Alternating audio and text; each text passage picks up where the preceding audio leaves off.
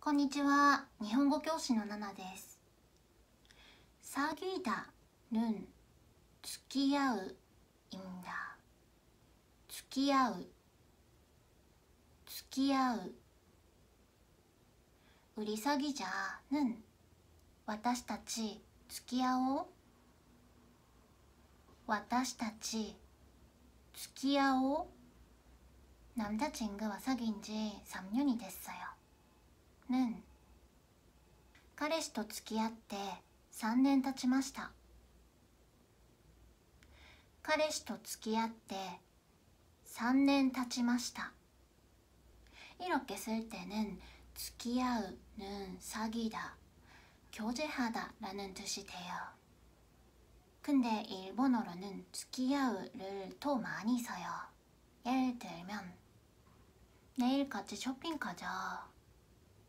明日買い物付き合って？明日買い物付き合って？돈量は価値やぐヘッドに飲むぬじょっそ。同僚の残業に付き合ったら超遅くなった。同僚の残業に付き合ったら超遅くなった。 이렇게 뭔가 같이 하다라는 뜻으로도 많이 써요. 참고로 사람 이외에도 써요.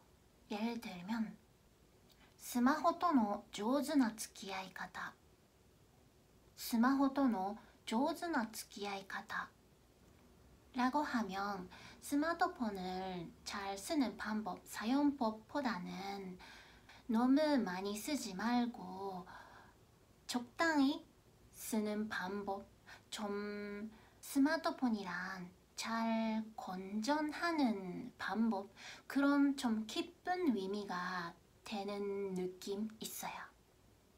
또 하나는 나가는 가훈쇼도 付き合っている